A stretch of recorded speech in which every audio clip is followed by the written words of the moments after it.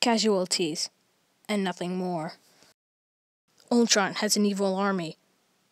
The robots. Sir, everything is going according to plan. I hired some thugs to help me take out Ultron, but now I realize they're part of the rebellion. We all are. Sir? Yeah? Do you know when that guy who hired us is coming? He was supposed to be here already. I don't know.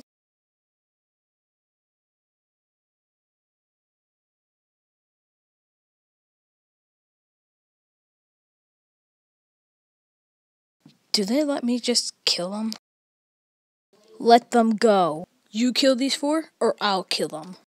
Enough talk. Are you sure? I said enough talk.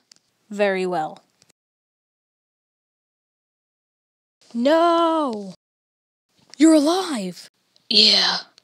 Uh, what's that noise? It's a bomb! To be continued.